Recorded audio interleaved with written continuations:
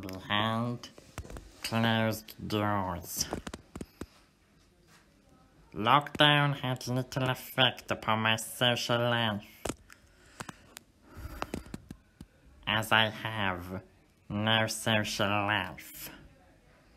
I know zero people outside of school.